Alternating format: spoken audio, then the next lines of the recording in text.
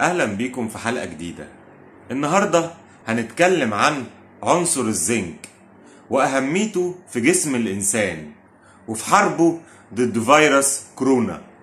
هنتكلم عن الفوائد بتاعته في الجسم وهنتكلم عن الجرعات اللي محتاجينها كل يوم وهنتكلم كمان عن أضرار الإفراط في استخدام الزنك.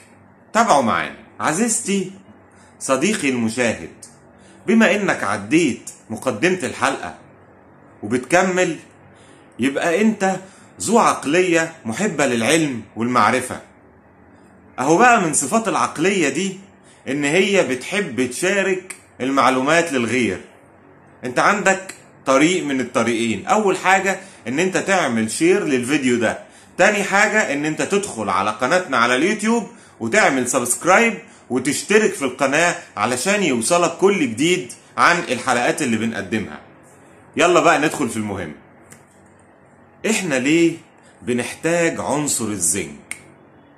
أول حاجة علشان يساعدنا على المحافظة على حاسة الشم بتاعتنا. تاني حاجة علشان يساعد على توازن نسبة السكر في الدم. فهو مفيد جدا لمرضى السكر. كمان بنحتاج عنصر الزنك في المساعدة والإسراع على التئام الجروح.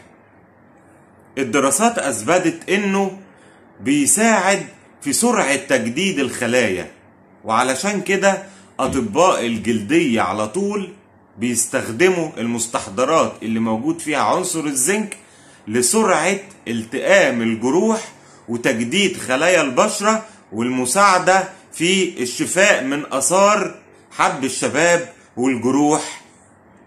يستخدم الزنك في زيادة قوة وكثافة الشعر وبيعطي الشعر المظهر الجميل واللامع. لو تم استخدام الزنك أثناء فترة المراهقة بيساعد الإنسان على النمو وزيادة الوزن والطول. كمان الزنك بيحمي الجنين من التشوهات الخلقية.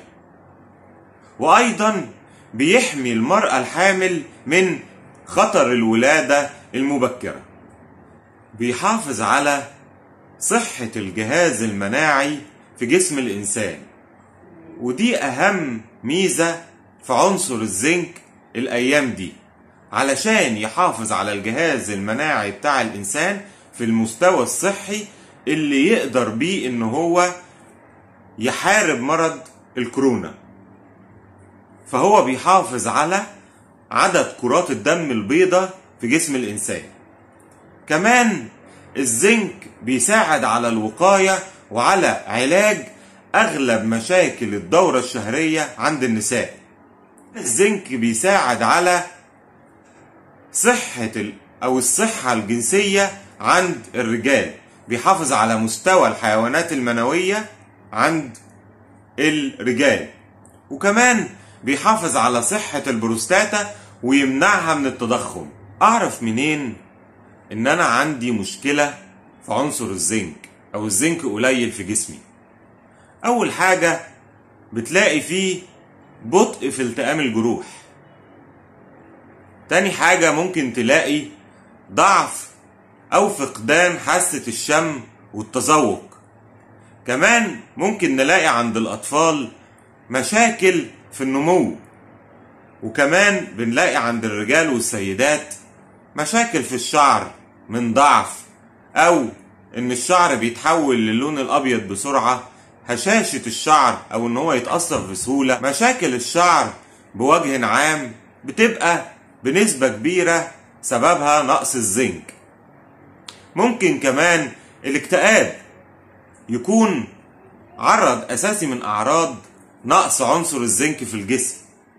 كمان فقدان الرغبة في الأكل فقدان الرغبة في الطعام ممكن يتعالج بإن إحنا ناخد زنك.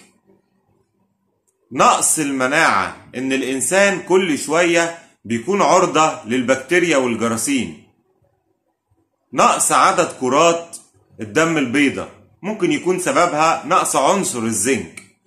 كل دي أعراض بتدل على إن عنصر الزنك قليل في الجسم.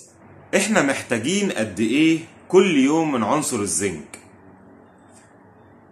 السيدات محتاجين 14 ملي جرام في اليوم. الرجال محتاجين 8 ملي جرام كل يوم. نقدر منين نحصل على عنصر الزنك بطريقة طبيعية. نقدر نجيبه من اللحوم الفراخ الأسماك والمأكولات البحرية وكمان البقوليات. الحاجات دي نقدر ناكلها على مدار الأسبوع تقدر تمدنا بالنسب اللي إحنا محتاجينها كل يوم من عنصر الزنك علشان نقدر نستفاد من المميزات اللي اتكلمنا عليها. لو هنتكلم بقى عن أضرار الإفراط في استخدام الزنك. خصوصا الأيام دي الناس عندها قلق وتوتر وبياخدوا فيتامينات كتير. الأضرار أول حاجة منع امتصاص الكتير من العناصر الغذائية المهمة للجسم زي المغنيسيوم الحديد النحاس وعناصر تانية. تاني حاجة الإنسان بيبدأ يشعر بألم شديد في المعدة وبيشعر بالغثيان وإن هو عاوز يرجع والإنسان كمان بيحس بالإسهال وبيجيله أعراض إسهال مصاحبة بدم كمان ممكن يشعر بالمرارة في بقه وفي الحالات الشديدة من التسمم بعنصر الزنك إن الإنسان بيجيله فشل كلوي. وعلشان كده دايما بنحب نقول سواء في آه إن إحنا نتناول عنصر الزنك أو أي عنصر مفيد للجسم إن إحنا نسأل عن ال ال الكمية أو الجرعة اللي إحنا محتاجينها من كل عنصر علشان نستفاد من الفوائد ونتجنب الأضرار. دمتم بألف خير.